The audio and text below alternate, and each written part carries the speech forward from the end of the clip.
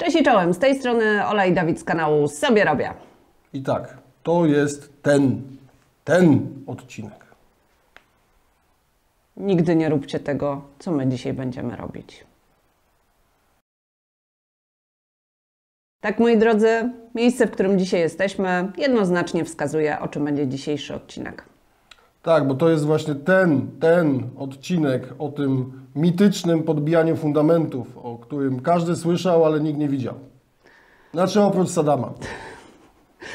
Pierwsza, zasadnicza i najważniejsza uwaga. Nie, nie jesteśmy sadomasochistami. Nie, wcale nie chcieliśmy tego robić. Nie, wcale nam się to nie podoba. Mi się podoba, bo się mogę w piasku pobawić, a nie byliśmy w tym roku nad morzem, no to chociaż mam na miastkę. Tak, mamy piaseczek. W każdym bądź razie e, daliśmy ogłoszenie, szukaliśmy ekipy do wykonania tej roboty. Nie zgłosił się dosłownie nikt. Nie, no jeden pan był, nawet przyjechał tutaj na miejsce, ale jak usłyszał o podbijaniu fundamentów, To już się więcej nie odezwał. to się więcej do nas nie odezwał.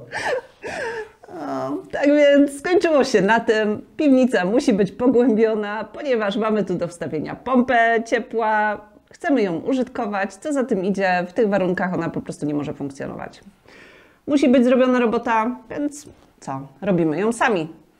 I teraz tutaj jest druga bardzo ważna uwaga, mianowicie to, co tutaj zobaczycie na tym filmie, to nie są nasze wymysły, to nie jest nasza technologia i nasze pomysły, tylko to jest coś, co mamy zapisane w projekcie budowlanym i jest to, są to wskazówki od konstruktora. Więc dokładnie wykonujemy po prostu to, co jest tam zapisane. Miejmy nadzieję, że te wytyczne będą lepsze niż zaplanowanie naszego szachtu kanalizacyjnego. Cały czas o tym myślę. Słuchajcie, pokażemy Wam to krok po kroku, no może nie z takimi detalami jak kręcenie betonu w betoniarce, ale wytłumaczymy e, jak mamy zaplanowane prace, jak one się odbywają e, i po prostu przeprowadzimy Was przez ten proces tak, że jeżeli ktoś chce się z tym zapoznać, to proszę bardzo. Natomiast nie bierzemy żadnej odpowiedzialności, jeżeli ktoś będzie nas naśladował i stanie się coś złego. Znaczy, jak stanie się coś dobrego, to też nie bierzemy odpowiedzialności. Zanim przejdziemy do naszego przypadku, krótkie podsumowanie, po co w ogóle fundamenty się podbija. Generalnie są to trzy powody. Pierwszy to po prostu fundamenty, które się rozsypują i trzeba je wzmocnić. Drugi, jeżeli chcemy nadbudować kondygnację i aktualne fundamenty są po prostu zbyt słabe, żeby ją unieść. I trzeci, kiedy chcemy pogłębić piwnicę. I to jest właśnie nasz przypadek. Jakie są techniki podbijania fundamentów? Po pierwsze, techniki są różne w zależności od tego, co ma finalnie być z tymi fundamentami zrobione. Jeżeli będzie to e, nadbudowa, będzie trochę inaczej, jeżeli to będzie tylko pogłębianie, będzie trochę inaczej. W przypadku takich dużych projektów, na przykład kamienic i tak dalej, stosuje się taką metodę, że podkopuje się fundament, leje się nową ławę i podmurowuje się do starej części fundamentu. Coś takiego można zrobić, jeżeli są to fundamenty ceglane, dlatego że jest to w miarę prosta płaszczyzna, do której po prostu można się, nazwijmy to w cudzysłowie, dokleić. W przypadku naszym mamy tutaj e, bardzo nierówną powierzchnię od spodu, dlatego że są to fundamenty lane betonowe. Więc musieliśmy zastosować inną technikę. Druga technika, którą można zrobić, to jest takie podlewanie, które my zastosowaliśmy. Czyli podkopujemy się pod fundament, e, szalujemy jakby przed fundamentem i umieszczamy tam beton. Trzecia metoda to wykonanie opaski. Stosuje się ją wtedy, kiedy pod fundamentami jest bardzo sypki piasek. I u nas zachodziło prawdopodobieństwo, że tak będzie, ponieważ w jednym z filmów pokazałem e, moje odwiedziny u Adama z kanału Sadam WG i on miał właśnie taki problem. W momencie, kiedy zaczął podkopywać fundamenty, okazało się, że piasek jest tak sypki, że w ogóle nie ma to żadnego sensu, gdyż po prostu będzie mu się to osypywać do wykopu, nie będzie mógł wykonać podlania tych fundamentów.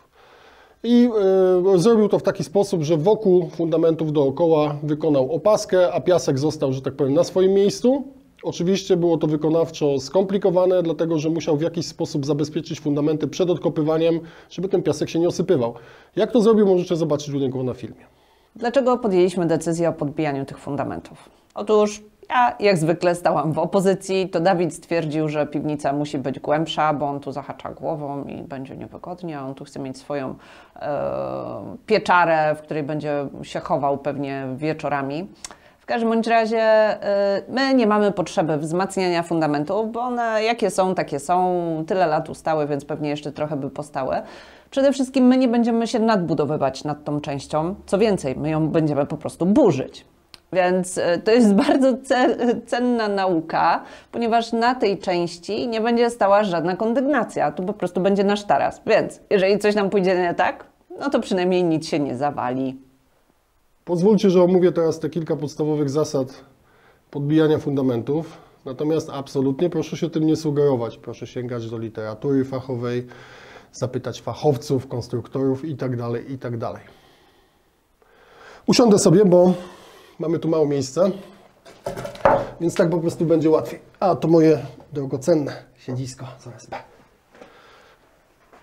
Pierwszą podstawową zasadą jest to, że nie wolno wykonywać zbyt długich odcinków, czyli odcinki, które wykonujemy, w zależności od miejsca, w którym się znajdują, mają u nas metr do metra 20, czyli nie przekraczamy maksymalnej długości, która jest wskazana w projekcie. Druga bardzo istotna zasada jest taka, że kolejne odcinki, które wykonujemy po sobie, muszą znajdować się w odpowiedniej odległości od tych, które już wykonaliśmy. Czyli musimy, jeżeli mamy odcinki metrowe, musimy zostawić trzy odcinki wolne, czyli 3 metry na tej samej ścianie i dopiero następny możemy wykonywać. Tak jak wspomniałem, nasze odcinki mają od metra do metra 20, jeśli chodzi o długość wzdłuż ściany. W głąb idziemy 50 cm pod fundament i nadlewamy się na ten istniejący fundament o około 5 cm. Tak naprawdę w praktyce wychodzi to 5 plus, że tak powiem, dlatego że te fundamenty no, nie są zbyt, y, na zbyt równej głębokości, więc czasami zdarza się, że jakby ta nadlewka jest większa. Beton, który używamy to beton B20, gotowa sucha mieszanka, do tego za chwilę dojdziemy. I stosujemy również rozproszone zbrojenie, ponieważ tak projektant w projekcie nam to zaprojektował i my się tego trzymamy. Za chwilę na pewno pojawi się fala krytyki pod tytułem, że za moich czasów to się kupowało pioch, to się kupowało żwir i cement i się samemu to wszystko mieszało. Otóż nie. My poszliśmy w innym kierunku. Zdecydowaliśmy się na gotową, suchą mieszankę z kilku zasadniczych i z naszej perspektywy mega ważnych powodów. Po pierwsze, mamy mały mieszalnik. Żeby to wszystko dobrze y, samodzielnie wymieszać w takim mieszalniku, musielibyśmy robić mega małe porcje. Po drugie, musielibyśmy to kręcić u góry, ponieważ y, no, tam byłby ten żwir. No, wszystkiego nie przesypiemy sobie tutaj do piwnicy, nie? Więc to też by była naprawdę turbo ciężka akcja logistyczna. Y, jednym z pomysłów było zakupienie gotowego betonu z betoniarni. Natomiast to też nie wchodziło tutaj w rachubę, ponieważ odcinki, jakie my wykonujemy, czyli te metróweczki, one pochłaniają maksymalnie 0,2 metra sześciennego betonu. No, nikt raczej nam tego nie przywiezie, a jeżeli przywiezie, no to podejrzewam, że cena transportu e, zje całą e, zyskowność tego pomysłu. Trochę żeśmy ponudzili z tymi teoriami i innymi zasadami, ale teraz czas na creme de la creme, czyli praktyka. Jak się za to zabrać? Otóż my zrobiliśmy to w sposób następujący. Wzięliśmy sobie projekt naszego domu i projekt naszej piwnicy przede wszystkim. I na tym projekcie zaznaczyliśmy sobie tak wstępnie odcinki, które będziemy wyznaczać. Potem zeszliśmy do piwnicy, przynieśliśmy to tak mniej więcej. Oczywiście praktyka pokazała, że to wcale tak ładnie nie wychodzi wszystko, bo tu mamy jakąś rurkę, tam mamy jakiś kranik, tak więc trzeba było wszystko modyfikować na bieżąco. No i tutaj jest też istotna uwaga. Mm, mamy trochę pęknięć na tych ścianach, dlatego że one nie były odlewane w całości z betonu. One były tutaj odlewane jakoś odcinkowo i no, musieliśmy tak tymi naszymi odcinkami ucelować, żeby jakby wzmocnić, czyli żeby ta szczelina nie wypadała na miejscu naszego połączenia, tylko nasz cały odcinek lany był po prostu takim elementem wspierającym na wysokości tego pęknięcia. I to jest druga ważna uwaga. Ponieważ my nie wiemy, czy my robimy to wszystko dobrze, to postanowiliśmy sobie wziąć e, zakreślacza i pozaznaczać wszystkie pęknięcia, które są w jakiś sposób widoczne, żeby mieć taki, wiecie, punkt odniesienia, że jak zobaczymy jakąś nową, wielką, jebitną rysę, to znaczy, że coś nam chyba jednak poszło nie tak. Tak, no nie wiem, co byśmy z tym później zrobili, ale w każdym razie będziemy mieli taką wiedzę. Krok kolejny to jest wyznaczenie sobie tutaj poziomów i linii szalowania. Stosowaliśmy metody y, turbonowoczesne pod tytułem lasery, a także te bardziej tradycyjne pod tytułem gwóźdź i sznurek. Natomiast efekt końcowy jest taki, że ponieważ ta piwnica jest w cholerę nierówna, zarówno jeżeli chodzi o posadzkę, jak i o ścianę, e, a my musimy niejako pracować na odległych od siebie odcinkach, no to tutaj tak, że tak powiem, całe szczęście to jest piwnica, bo te poziomy tak momentami nam się trochę rozjeżdżają. Nie, nie są to jakieś olbrzymie różnice, to jest kilka milimetrów. Natomiast trudność może nawet nie wynika z tego, że to jest krzywa piwnica, bo to znowu byłoby zwalanie na kogoś innego. No i bardzo dobrze. Tylko wynika to po prostu z tego, że no linia linią od lasera wyznaczona, natomiast później trzeba się do tej linii przyszalować, że tak powiem, czyli tak ustawić szalunek, żeby on był zgodny z tą linią. No a nie jesteśmy jakimiś mistrzami tutaj w temacie. Ja co prawda uczestniczyłem w kilku takich pracach, natomiast y, zawsze byłem tylko tym przynieść, wynieść, pozamiataj i nigdy tego samodzielnie nie robiłem, więc tak naprawdę jest to pierwsza taka moja robota. Ale jak Nie dojdziemy jak do końca, jak dojdziemy do końca, to mam wrażenie, że będzie nam już szło troszkę lepiej. Tak, generalnie uczymy się na błędach, więc już też pierwsze błędy popełniliśmy, już też wiemy jak je skorygować, I życie kopnęło nas w tyłek. jak zwykle. Dobra, kolejny krok. Co my tam mamy? No przede wszystkim musimy wnieść tutaj ten cały beton, znaczy musimy. Dobra, tu bądźmy szczerzy, będziemy używać liczby pojedynczej. Ja, mimo szczerych chęci, to jednak te worki 25-kilogramowe mm, troszeczkę przekraczają moje możliwości. A Dawid, jako ten dżentelmen, zabrania mi dźwigać ciężarów. Pozdrawiamy mamusię. Ja naprawdę ich nie dźwigam. Tak, więc y, no, cała zabawa, że tak powiem, zaczyna się przede wszystkim z pozyskaniem tego betonu, bo okazuje się, że taki krajzel, na którego się uparliśmy, dlatego że no, jest w nim odpowiednia ilość cementu, a nie jak w tych niektórych, że jest to głównie piasek, nie jest tak łatwo dostępny. Więc najpierw musimy go upolować w którymś z marketów budowlanych. Jako, Mamy że... już swoje tajne sposoby, jesteśmy stałymi bywalcami pewnych miejsc, mamy nawet konszachty ze sprzedawcami. Tak, po- pozdrawiamy pana z y, tego, z Bryko, Bryko. Bryko przy Na Góreckiej. Góreckiej. Y, W każdym razie, no najpierw musimy zdobyć ten beton, później musimy go tutaj dostarczyć. Y, Nie kupujemy go w, jakąś, w jakichś nie wiadomo jakich ilościach ze względu na to, że no, tak jak mówię, my to musimy przetransportować tutaj przez to okienko, które było wrzutnią węgla. Czyli najpierw trzeba to wyładować z samochodu. Zrobiliśmy sobie tam taki podest y, drewniany. Na, na ten podest drewniany wyładowujemy ten beton. Później trzeba zejść do piwnicy. Później muszę go tutaj wciągnąć do środka, no i podkładać na paletę. No więc jakbym sobie tutaj zamówił dwie palety tego betonu, to jest tam chyba ze 100 worków, no to wybaczcie, to jest 2,5 tony. Więc ja no nie piszę się na to, żeby zrobić to w jednym, za jednym machnięciem, że tak powiem. Tak więc tak wygląda logistyka całego tego zaopatrzenia, które mamy. A poza tym jesteśmy też ograniczeni możliwościami ładownymi samochodu. E, Do landa wchodzi maksymalnie ile? 16 worków? Znaczy, niezależnie od samochodu, którym dysponujemy, no to powiedzmy, że jesteśmy w stanie na Lublina załadować tam 700 ileś kilo, jeśli pamiętam y, jego ładowność. Y, Worek waży 25 kilo, więc powiedzmy, że jesteśmy w stanie wrzucić na Lublina ile? Y, 30 worków. Jak już ten beton mamy na miejscu, no to musimy zacząć skuwać starą posadzkę. Starą posadzkę nie skuwamy na całej powierzchni, nie skuliśmy na całej powierzchni. Z kilku powodów. Pierwszy jest taki, że no jakby nie patrzeć, ona w jakiś sposób wspiera ten grunt, który jest y, pod fundamentem, więc y, odkrywamy tylko tyle, ile potrzebujemy i dopiero dalej idziemy z kuciem, jak już mamy wszystko wylane. I idziemy na kolejny odcinek. Idziemy na kolejny odcinek w innym miejscu. Tak Ten pioch tak naprawdę on bardzo szybko y, schnie i wtedy robi się taki nadbałtycki, jak to, jak to mówię.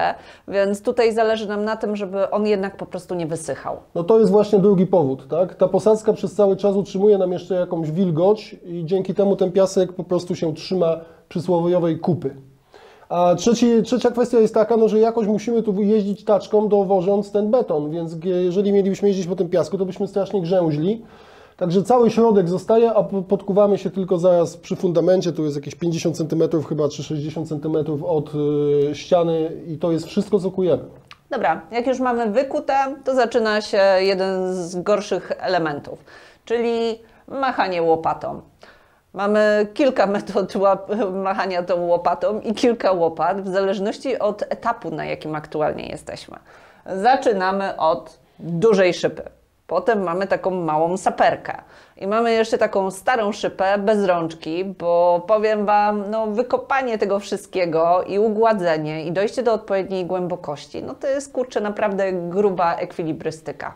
Tu w ogóle wchodzi kwestia nazewnictwa, bo Ola tutaj posługiwała się bardzo różnymi nazwami na te przyrządy kopiące. Pomijam to, że ona je notorycznie myli, te nazwy. Łopata to łopata, tak? No nie wiem, u mnie na wszystko się mówiło łopata.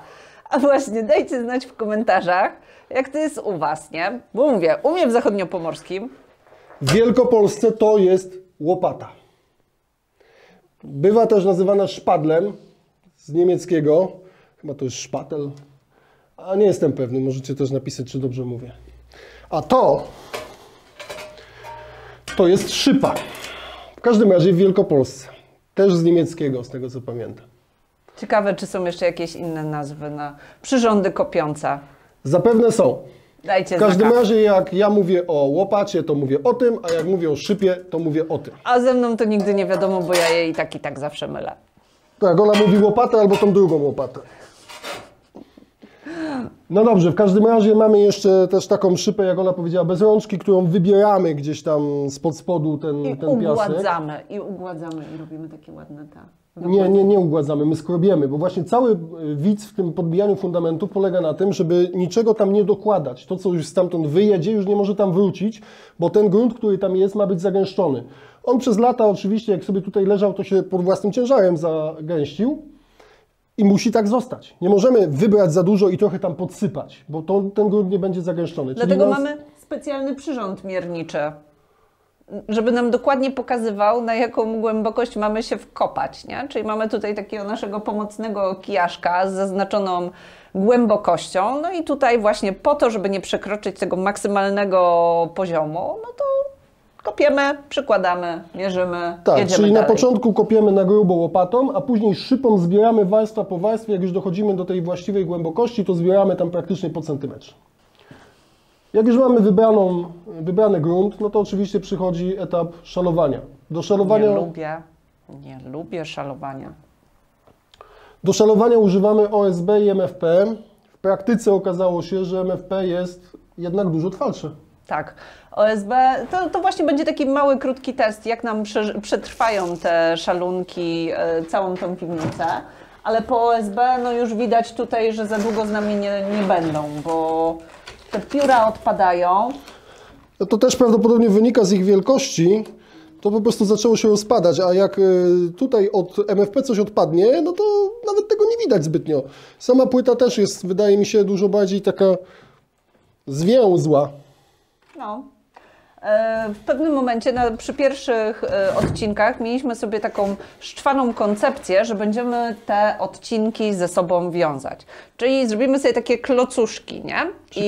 Do tych boczny szalunek, w boczny szalunek dokręciliśmy jeszcze takie, taką deseczkę, żeby właśnie zrobiło się takie wcięcie w tym naszym odcinku. Tak, idea była taka, że będziemy mieli taki W pióro teorii, w teorii to był świetny pomysł. Po prostu byliśmy z siebie tacy dumni, tacy dumni do momentu, kiedy nie zaczęliśmy przystępować do demontażu pierwszego odcinka. I to się okazało, że niestety nasz czwany plan po prostu jebut. Tak, boczek y, odszedł, natomiast klocuszek dokręcony został wewnątrz betonu. To jest mniej więcej, moi drodzy, 20 minut plecy, dlatego że trzeba go wydłubać stamtąd, a on oczywiście nie chce wyjść w całości, trzeba go kawałeczek po kawałeczku stamtąd usuwać. Oczywiście ja twierdziłam, zostawmy go tam, przecież tego nie będzie widać, ale oczywiście Dawid się uparł, że on co będzie skubał. No to skubał sobie, no. Se wymyślił, to niech se skubie. Widać nie będzie, ale on tam będzie i będzie osłabiał. Szczególnie, że pod wpływem pewnie wilgoci on by zaczął się tam rozpadać. Oj, tam mamy dobry beton, nic by mu nie było. A jak myślicie, byłoby czy nie byłoby? Ja myślę, że by nie było. Coś jak z dachem i foliówką, pamiętacie ten odcinek, nie? Ten mi będzie wypominał to do końca życia chyba.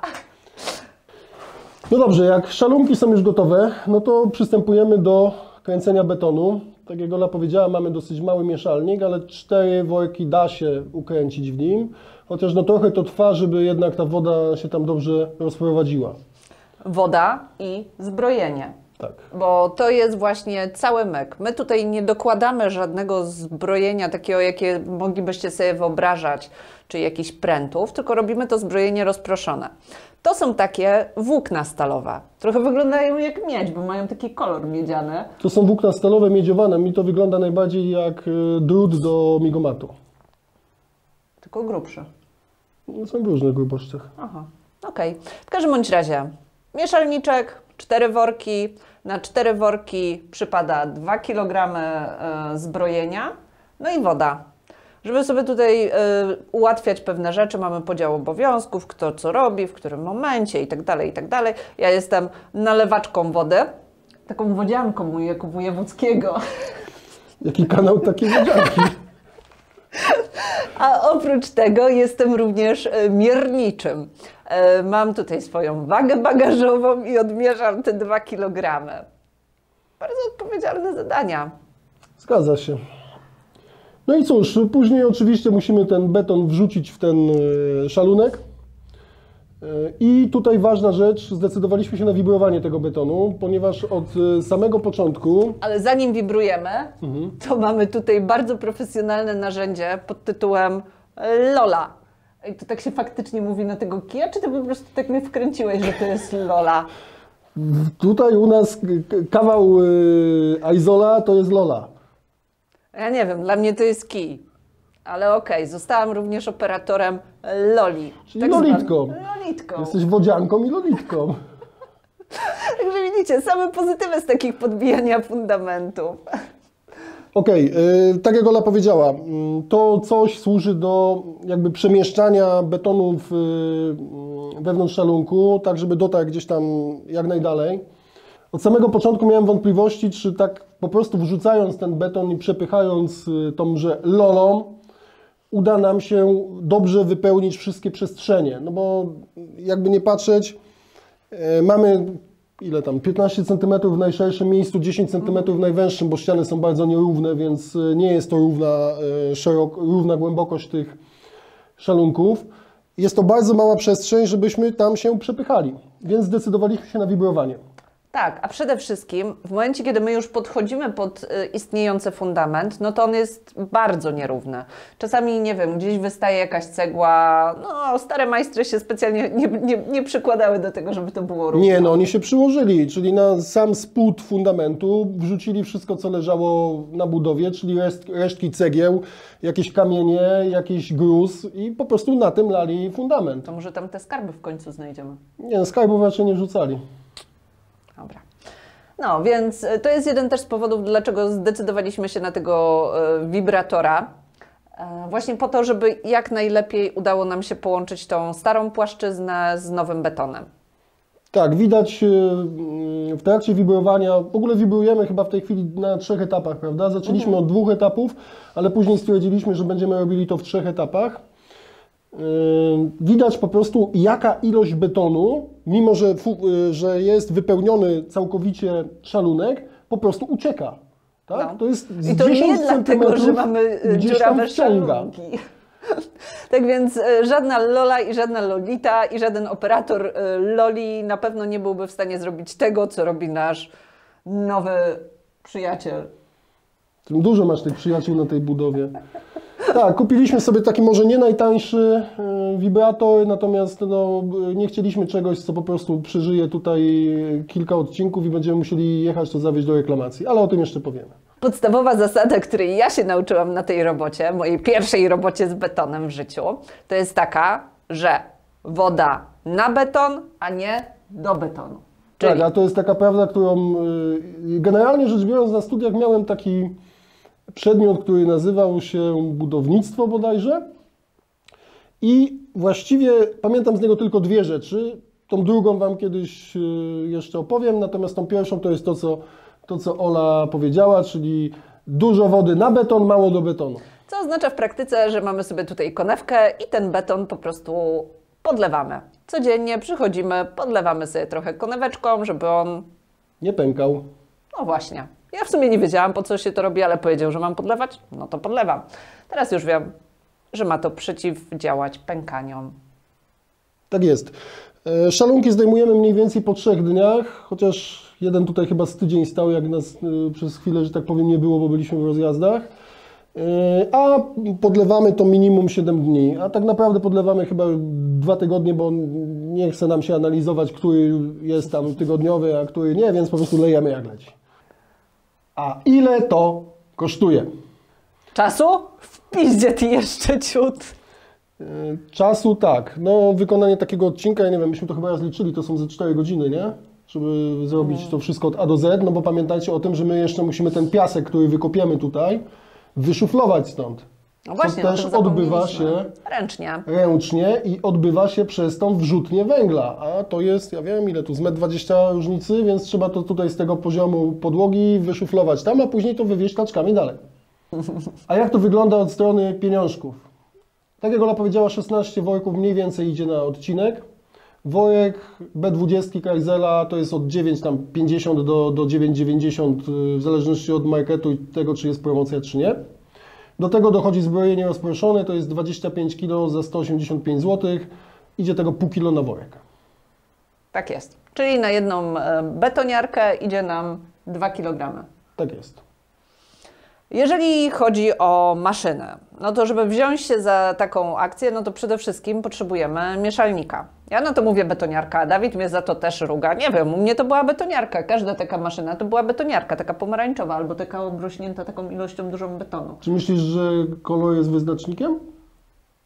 Nie, bo ona później nikt jej nie myje i ona i tak obrasta betonem, więc nie widać. Naszą myjemy, Eee, ale też obrasta betonem od zewnątrz.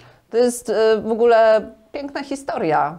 Ta betoniarka była bowiem naszym prezentem ślubnym. Z tej strony po, po, pozdrawiam moją firmę, e, która na, na nasz ślub dała nam taki bon, a ten bon spożytkowaliśmy sobie na zakup betoniarki. Tak, betoniarkę kupiliśmy sprytnie, bo przy okazji promocji 20% w Juli, więc zamiast 500 kosztowała 400. Jesteśmy królami życia. Kolejna maszyna, no to jest wibrator. Mm, Jak już Dawid wspominał, nie zdecydowaliśmy się na najtańszego Chińczyka, tylko na coś e, ciut lepszego. E, Kosztowało to 600 zł, no ale robi taką robotę, że kurde, 10 kijaszków e, by chyba nie podołało temu.